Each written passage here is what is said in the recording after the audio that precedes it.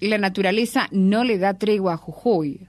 Otra vez una luz azotó la quebrada. Ahora ocurrió en Tilcara. Las calles tilcareñas amanecieron inundadas de barro y piedras. Tuvieron que evacuar al menos a 22 vecinos en el hotel de turismo y en otros centros que se fueron montando con el correr de las horas. Los arroyos que descienden desde la quebrada se activaron como consecuencia, una vez más, de las intensas lluvias y volvieron a castigar a un pueblo del norte jujeño. La tormenta comenzó alrededor de las 2 de la mañana. Allí los trabajadores de defensa civil de la propia localidad comenzaron con las tareas de prevención en las defensas de ríos y arroyos. Sin embargo, con el correr de las horas, la furia de la naturaleza pudo más, y la intensidad del agua que caía del cielo provocó el desborde. La crecida avanzó sobre el pueblo y arrastró autos, árboles y derrumbó paredes de casas a su paso. Los sedimentos llegaron hasta la plaza central del pueblo, esa que cada año alberga turistas de todo el mundo. A las seis de la mañana el panorama era calamitoso de manera similar al que presentó hace tan solo dos meses la localidad de Volcán, a 42 kilómetros de Tilcara. Las piedras ingresaron a las casas y motivaron pánico entre los vecinos.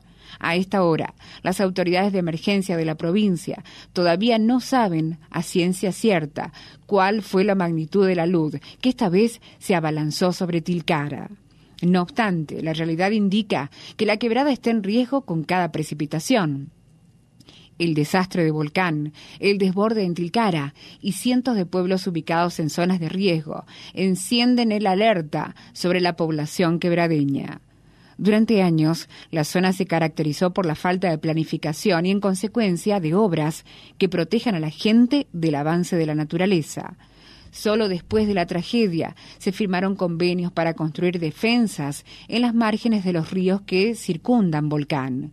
En las décadas previas, en las que sobraron los recursos, nadie se acordó de la quebrada.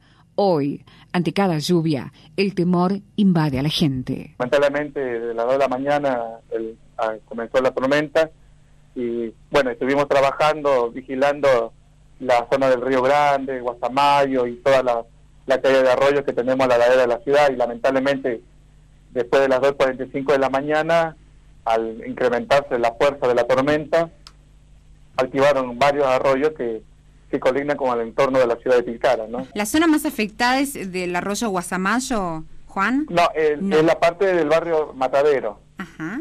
El barrio Matadero porque eh, como es bajada, se activaron varios arroyos que bajaron por Rivadavia y bueno, inundaron el, con la cantidad de agua y barro y piedra, ¿no? Que lamentablemente muchas viviendas hasta ahora siguen eh, llenas de, mucha agua. lamentablemente por el lado de Malca y toda esa zona de, la, de los cerros se activaron todos los arroyos y comenzaron a caer y una de las una de las vertientes o una de las avenidas perdón que se agota para hacia el río Grande que es la avenida Rivadavia bueno justamente pasa por el barrio Matadero que es donde concentró toda la cantidad de agua, piedra y barro que, tenemos. Igualmente no fue el único lugar, tenemos en Malca, en las viviendas cerca de la Ruta 9, eh, pasando a San Francisco, eh, el lado de Juella, eh, La Falda, tuvimos muchos problemas en el barrio Pucará también, y bueno, estamos siguiendo trabajando para poder tratar de, socorrer y ayudar a la gente damnificada.